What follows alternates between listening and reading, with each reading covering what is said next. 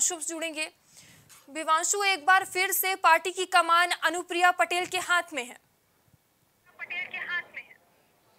जी जी मयूरी, आपको बता दें कि अपना दल एस का राष्ट्रीय अधिवेशन संपन्न हो चुका है। इस अधिवेशन के अंदर में प्रदेश के अलग अलग जिलों से अगर बात की जाए तो उत्तर प्रदेश के पचहत्तरों जिलों से तमाम पदाधिकारी कार्यकर्ता इसमें शिरकत किए थे। और आपको बताएँ कि एक बार फिर कार्यकर्ता और जो कोर कमेटी है उन्होंने राष्ट्रीय अध्यक्ष पद का जो जिम्मा था वो अनुप्रिया पटेल को सौंपा है। एक बार फिर राष्ट्रीय अध्यक्षा का जो जिम्मा है वो अनुप्रिया पटेल संभालते हुए नज़र आएँगी। आपको बताया कि आज के इस अधिवेशन में अपना दल एस के 11 विधायक शामिल हुए। साथ ही साथ सभी सांसद और सभी जो पदाधिकारी हैं, वो शामिल हुए।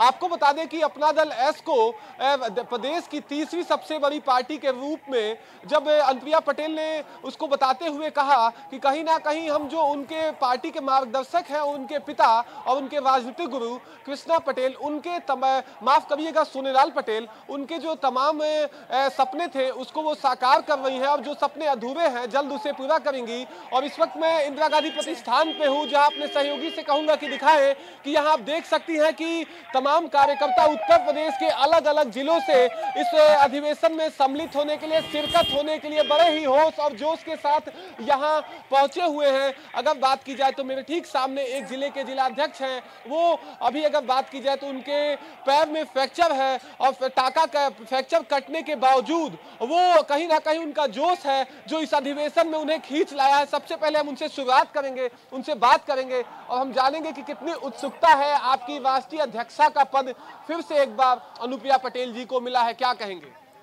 बहुत बहुत खुशी है, मेरा पैर फ्रैक्चर है, सरिया पड़ा हुआ है। तब भी चूँकि पार्टी का, पार्टी को राज्य स्तरीय पार्टी का दर्जा मिला तो हम पहली बार अपने संवैधानिक तरीके से अपने राष्ट्रीय अध्यक्ष को चुनने के लिए यहाँ उपस्थित हुए हैं।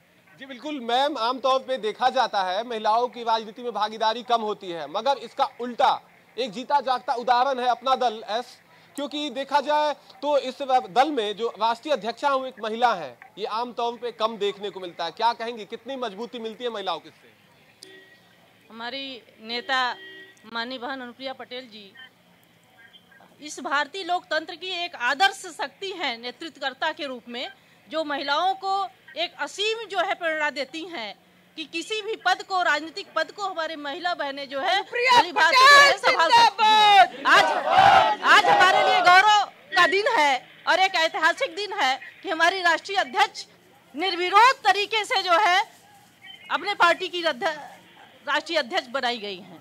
कितनी मजबूती मिलेगी महिलाओं को इससे? अरे बहुत मजबूती मिलेगी। बता तो रही कि एक ऐसी महाप्रेरणा स्रोत शक्ति हैं बन अनुप्रिया जी राजनीतिक क्षेत्र में महिलाओं को लाने के लिए कि उसका कोई हम बयान नहीं कर सकते हैं शब्दों में। बिल्कुल आपकी आँखें छलक रही हैं हाँ, वो शक्ति हमको मिल रही है हाँ? बिल्कुल हम कुछ और लोगों से बात करेंगे। आपका नाम क्या है और कहाँ से आए हैं? राजेश पटेल बुलबुल। मैं प्रयागराज की धरती से आया हूँ।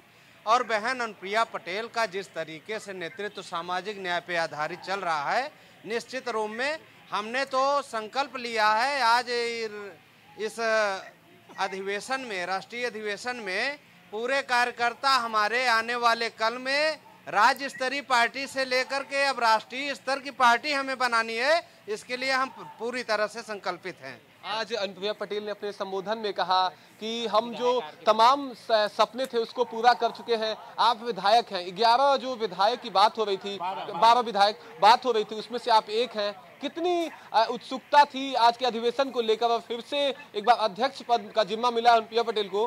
कितनी इस बात को लेकर उल्लास आपके अंदर? ये ऐतिहासिक क्षण है। बहन अनुप्रिया पटेल, इस समय देश की महिला आइकन है। पिछड़े दलितों शोषणों की आवाज़ हैं।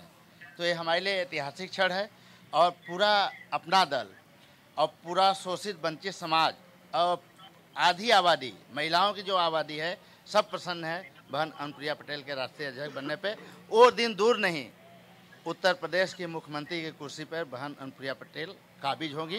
यही हम लोगों का सपना है। और जब तक जिंदाबाद।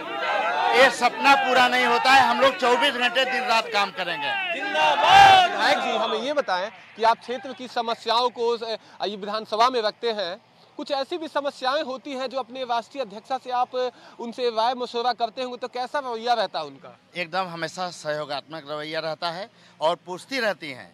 हमारे राष्ट्रीय अध्यक्ष पूछती रहती हैं अपनी समस्या बताएँ आपसे हल नहीं हो रही है तो हमेशा हल करने के लिए तैयार रहती हैं। बहुत ही सहयोग बना रहता है। बहुत बहुत धन्यवाद आप सबको। जी। हमें ये बताएँ कि प्रदेश की अब तीसरी बड़ी पार्टी के रूप में अपना दल देखी जा रही है। क्या कहेंगे इसको लेके? तीसरी नंबर की हमारी ये कार्यकर्ताओं के जो सहयोग मिले हैं कार्यकर्ताओं का मनोबल देखिए हकीकत में अपना दल का जो कार्यकर्ता है वह ज़मीन से जुड़ा है और एक एक गरीब, मजलूम, वंचित, शोषित का साथ देता है, हमेशा दुख में खड़ा मिलता है। ये राज्य स्तरीय आज पार्टी तीसरे नंबर की बनी है।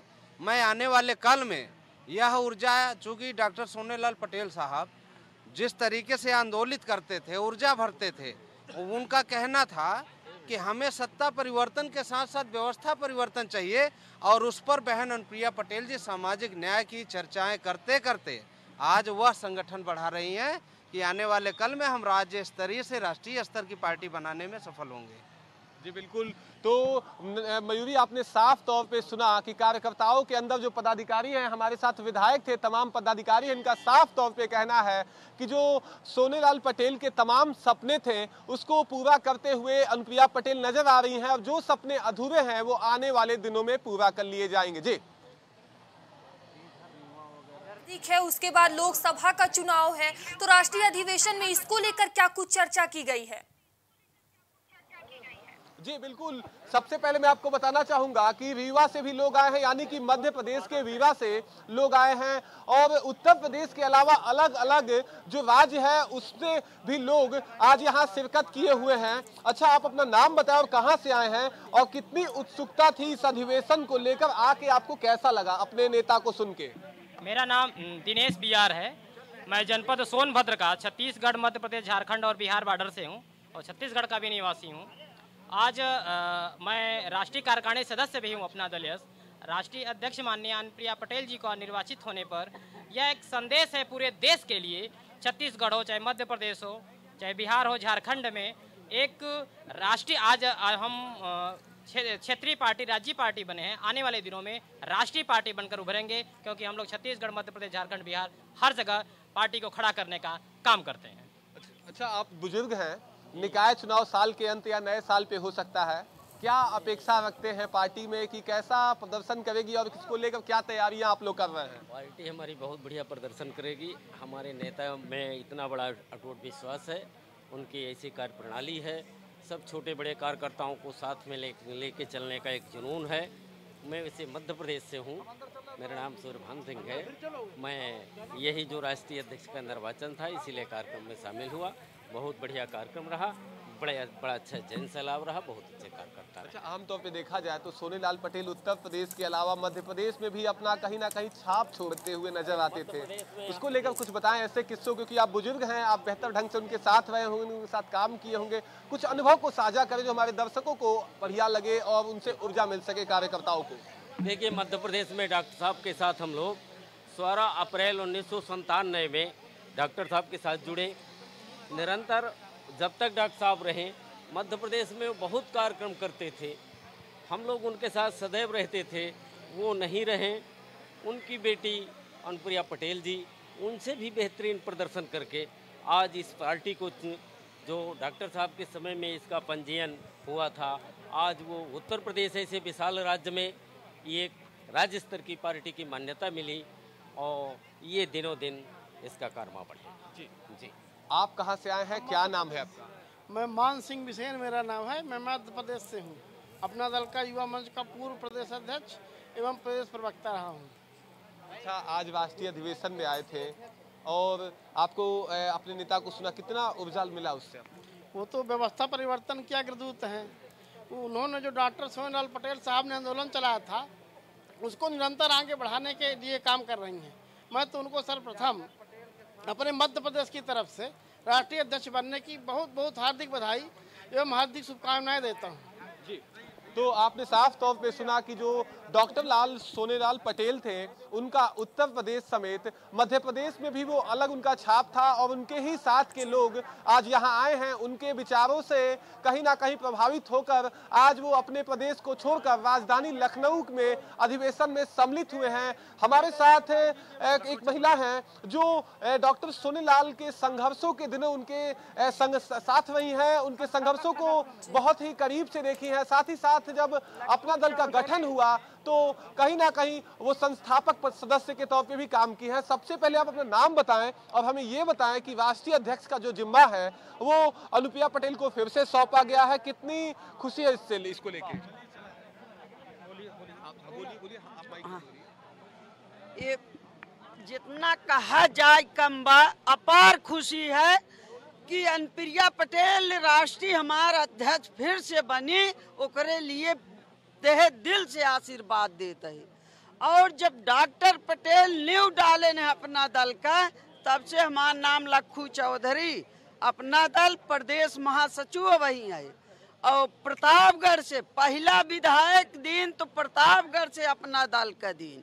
और जब तक हाथ पैर चले, तब तक दल में काम करब। और अनुप्रिया पटेल के जब तक मुख्यमंत्री न बनाए दे, तब तक बैठब ना। अच्छा आज अनुप्रिया पटेल अपने संबोधन में कह रही थी कि डॉक्टर सोनीलाल पटेल के जो सपने थे, उसको कुछ हम पूरा कर लिए, जो अधूरे उसे पूरा करेंगे। और इसको लेके आप क्या सोचती हैं? बस वही, डॉक्टर पटेल के सपने के लिए सारे जितने कार्यकर्ता उत्तर प्रदेश से आए, डॉक्टर पटेल का सपना जो अधूरा रहा, उसी के पूरा करने के लिए सारे लोग लगा ही और होगा पूरा होके रहेगा पूरा। अपना दल जिंदाबाद अनप्रिया पटेल जिंदाबाद आशीष भैया जिंदाबाद। जी तो साफ़ तौर से आप ये पदाधिकारियों को जी। जी बहुत बहुत धन्यवाद व्यांशु आपका हमसे जुड़ने के लिए। जी नंदनी।